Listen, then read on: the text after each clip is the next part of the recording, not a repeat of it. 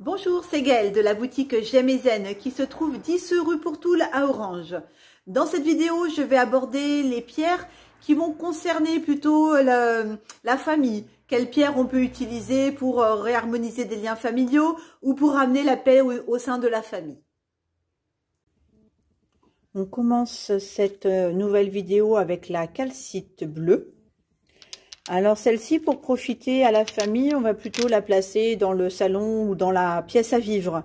Euh, elle va aller euh, apporter la douceur, l'instinct maternel, renforcer le sentiment de quiétude que l'on peut éprouver dans une famille unie. On est aussi sur une pierre hautement protectrice euh, dont un, un fragment suffit à écarter les énergies négatives du lieu. Donc voilà, elle peut aussi apporter de l'apaisement au sein de la famille. Après, on peut la travailler aussi sur soi. Par exemple, si les enfants sont un petit peu hyperactifs, donc pour les, les aider à s'apaiser et à se calmer. Et puis, euh, on est aussi sur une très bonne pierre euh, anti-stress, euh, énergie nerveuse, apaiser les émotions.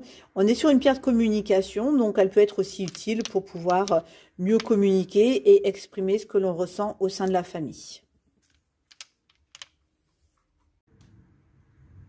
Voici la célestite, qui est une pierre magnifique à poser à la maison aussi. Alors, euh, un peu comme celle que l'on vient de voir là auparavant, la, calcite, on est sur une pierre dite de communication, mais qui va avoir aussi son intérêt à, poser euh, euh, à la maison, parce que elle va faire monter le champ vibratoire du lieu et créer une énergie de détente dans un environnement stressant. comme on est sur une pierre de communication, elle va aussi nous permettre de, nous exprimer beaucoup plus facilement. Vous pouvez la poser aussi dans la chambre d'un bébé, euh, d'un enfant en bas âge qui va pleurer fréquemment sous l'effet des crises d'angoisse, car elle va lui procurer un, afflux de tendresse maternelle et le stabiliser. Euh, elle apaise les inquiétudes aussi. Voilà, on est sur une pierre qui nous aide à travailler sur notre confiance.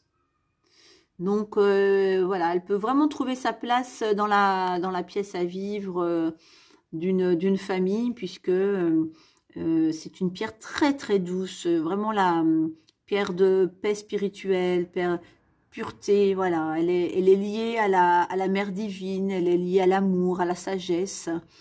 Donc, donc ça peut être une pierre très intéressante à mettre à la maison. Je vous présente aussi la charouite, bien qu'elle soit un petit peu plus compliquée à trouver et peut-être aussi un petit peu plus chère de par sa, rareté et la difficulté que l'on a à, aller les extraire de leur gisement. Mais le peuple mongol les portait en amulettes afin de renforcer les liens de la famille et pour se protéger des mauvais esprits. Alors vous pouvez aussi la mettre... Euh, dans la chambre d'un enfant, euh, parce que c'est une très très bonne pierre pour les aider à verbaliser leurs peurs, leurs angoisses, les, vous savez, le sentiment de, sécurité aussi pendant la nuit, apaiser les cauchemars. Euh, euh, elle va aussi, voilà, les, les rassurer par rapport à ça. Et puis, c'est mine de rien aussi une pierre pour euh, protéger des émotions négatives, pour euh, pierre de libération, de transformation. Donc, euh, elle va vous soutenir dans les périodes difficiles de changement. Elle va renforcer le niveau émotionnel et, psychique. Donc, voilà, elle peut aussi avoir sa place au sein de la, de la famille pour apaiser aussi tout ce qui est les tensions émotionnelles. Du côté des pierres vertes, vous avez l'émeraude. Qui va donc soulager euh, les peines de cœur, amener la compassion, la bienveillance au sein du foyer. Elle va favoriser les relations sociales euh, au sein de la famille, du cercle amical ou amoureux, l'amour sans possessivité, le non-jugement. Elle va être idéale au boulot car elle stimule la coopération, le sens du travail en commun. Vous pouvez aussi donc la positionner à la maison pour euh, vraiment profiter de, de tous ces bienfaits-là. Très très belle pierre de, guérison en général, hein, l'émeraude. D'ailleurs, si vous connaissez un peu les élixirs, l'élixir d'émeraude est celui qui va calmer euh, tout ce qui est les chocs émotionnels, tout ce qui est les, euh, les coups durs, quoi.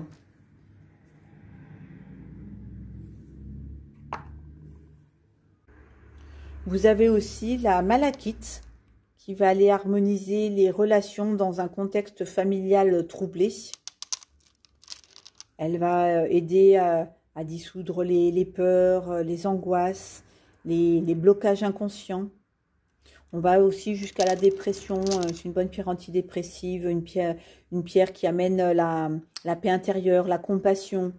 Voilà, pour, pour s'apaiser. C'est un, talisman aussi pour les enfants. C'est une bonne pierre de protection pour les protéger des énergies négatives. Je vais vous les montrer sous la forme brute. Donc là, c'est une brute euh, plutôt fibreuse. Et puis, euh, une brute un peu plus noduleuse. Voilà. Donc, pour les pierres qui, pour les personnes qui connaissaient la, la malachite euh, plus pour le côté antidouleur. Voilà, vous avez aussi le côté émotionnel qui rentre en compte. Et qui va apaiser aussi euh, tout ce qui peut être les tensions émotionnelles. Alors, avec la fuchite rubis, vous avez euh, l'avantage du côté émotionnel de, la pierre, enfin de la fuchite, hein, de la partie verte, mais aussi vous avez l'avantage, en fait, le, courage et la volonté de la partie un peu plus rouge, qui sont les rubis. Les rubis qui s'incrustent dans la fuchite. Alors, euh, au niveau de la famille, attendez, je vais vous en montrer quand même. Ah bah là, il y, a, plein de petits rubis sur celle-ci. Voilà. Au niveau de la, famille, vraiment, euh, à proprement parler, on est plutôt sur une pierre qui va vous aider à à vous libérer euh, des liens familiaux toxiques que vous ne souhaitez plus entretenir. Mais, mais au-delà de cette, de cette particularité-là, de, de, couper un peu les liens toxiques, vous êtes aussi sur une très très belle pierre qui va dissoudre les blocages émotionnels, elle va aider à s'ouvrir aux autres, elle va calmer, elle va apaiser, amener la sérénité, transformer les énergies négatives en énergie positive, apaiser la colère. Donc vous voyez, elle peut aussi avoir sa place au sein d'une famille où il y a, euh, il y a quelques tensions. Euh, avant, de, voilà, avant de couper les liens toxiques, on peut aussi l'utiliser pour apaiser les tensions et, les, blocages émotionnels qui sont dans le, dans le foyer. Très belle pierre aussi pour les, ruptures sentimentales difficiles, pour euh, surmonter ces, émotions suite à une, rupture. Alors voici la, pierre de soleil, c'est un peu le même principe que la fuchite rubis, euh, à savoir qu'elle va euh, être utile pour se nettoyer des pollutions qui sont générées par les autres, comme les parents, les enfants, le partenaire possessif, ça peut être aussi les collègues de travail, voilà. Et qui du coup polluent nos chakras, polluent notre aura. Mais ce qui est intéressant avec cette pierre, c'est que Contrairement à des pierres, vous savez, très puissantes, là, qui, euh, qui renvoient toutes les énergies négatives, celle-ci va les, les renvoyer, mais remplie d'affection, remplie d'amour. Donc, euh, donc voilà, on ne fait pas du mal à l'autre, mais simplement, euh, on lui renvoie plein d'amour et nous, on, se nettoie, on se protège de, des, des, des pollutions toxiques. Je vais vous la montrer sous sa forme brute. On est aussi sur une pierre qui est très intéressante. Euh, pour les personnes qui ne savent pas dire non, qui se sacrifient sans cesse pour les autres. Voilà, donc euh, quand on est dans une famille et qu'on fait passer les autres euh, avant soi, ça peut être une pierre intéressante pour prendre un petit peu plus soin de vous. Et puis permettre au véritable moi de, de, s'épanouir avec bonheur. Voilà.